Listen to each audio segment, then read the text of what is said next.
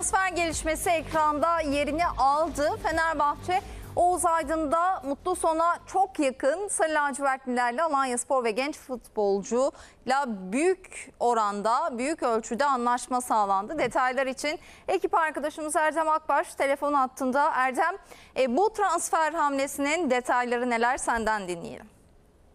Ceyda iyi yayınlar. Ee, Süper Lig'de geçtiğimiz sezonun en iyi çıkış yakalayan yerli oyuncularından biriydi Oğuz Aydın ve e, hemen hemen tüm takımlarında beğenisini toplayan bir oyuncuydu. E, Fenerbahçe Oğuz Aydın'la hızlı bir operasyonla transferi bitirme noktasına geldi.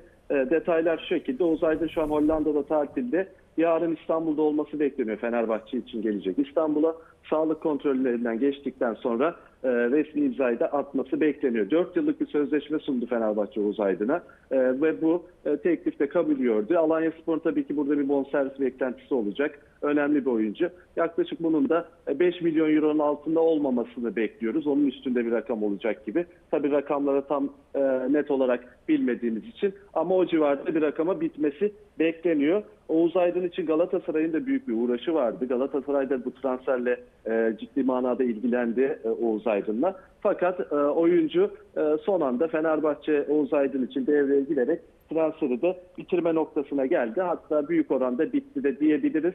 Oğuz Aydın'ı bir de şunu açalım. E, Fenerbahçe tabii kanat rotasyonunda sağ kanat gibi algılansa da Oğuz Aydın her iki kanatta da oynayabiliyor ve Fenerbahçe sağ kanatta İrfan Can Kahveci, Cengiz Ünder ve Emre Mor gibi 3 tane önemli ismi var. Ben bu transferin ardından Emre Mor'un kesin olarak artık ayrılacağını ifade edebilir takımdan. Ee, Cengiz ve İrfan noktasında bir gelişme olur mu? Tabii transfer dinamik bir süreç takip edeceğiz ama e, sol kanatta da oynuyor Oğuz Aydın ve sadece sağ kanat olarak biraz son dönemde anıldı ama sol kanat rotasyonunda da Fenerbahçe için önemli bir hamle olacak. Çünkü orada geçen sezon tüm yükü Tadiç almıştı. Maxim'in ismi konuşuluyor. Oğuz Aydın sol kanatta Oğuz Aydın. Maxim'in sağ kanatta İrfan Can, Cengiz Ünder rotasyonlarını da görebiliriz e, Fenerbahçe'de. Transfer artık büyük oranda bitti. Yarın oyuncunun İstanbul'da olması bekleniyor. E, 4 yıllık bir sözleşme sundu Fenerbahçe Oğuz Aydın'a. Peki çok teşekkür ediyoruz Erdem Akbaş. Detayları bizimle paylaştı ekip arkadaşımız. Biz de ana habere bu sıcak gelişmeyle başlamış olduk.